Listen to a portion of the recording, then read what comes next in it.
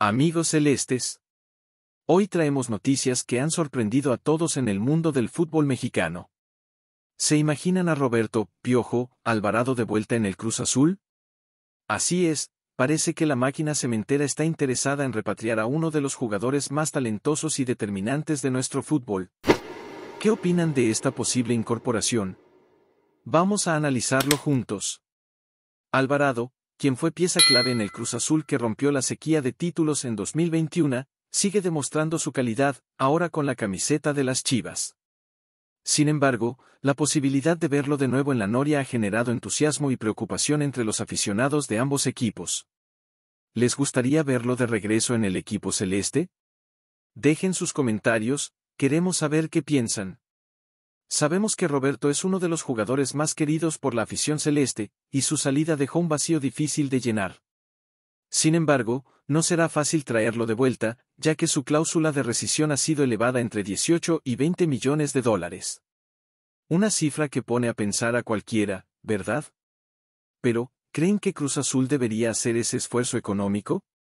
Según fuentes cercanas al club, tanto Alvarado como la directiva de Chivas no tienen intenciones de romper su vínculo, a menos que llegue una oferta irresistible de Europa. Esto tranquiliza a los aficionados del rebaño sagrado, pero para nosotros, los celestes, ¿será que aún hay esperanza? César Huerta, un periodista reconocido, ha señalado que la situación entre Alvarado y Chivas está muy estable por ahora. Pero con el mercado de fichaje siempre moviéndose, uno nunca sabe cuándo podría darse una sorpresa. ¿Creen que Alvarado debería volver al Cruz Azul o continuar su carrera en Chivas o incluso en Europa?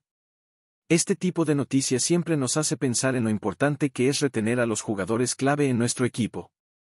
Si algo hemos aprendido es que la competencia por el talento en la Liga MX es feroz, y a menudo los precios suben cuando se trata de futbolistas nacionales. ¿Estarían dispuestos a ver a Cruz Azul hacer una gran inversión por Alvarado? Sabemos que la máquina está en plena reestructuración, y el regreso de un jugador como el Piojo podría ser el impulso que necesitamos para volver a competir en lo más alto. Pero también es cierto que una operación de este tipo podría comprometer los recursos del club. ¿Ustedes qué piensan? ¿Vale la pena o preferirían que se invirtiera en otras áreas?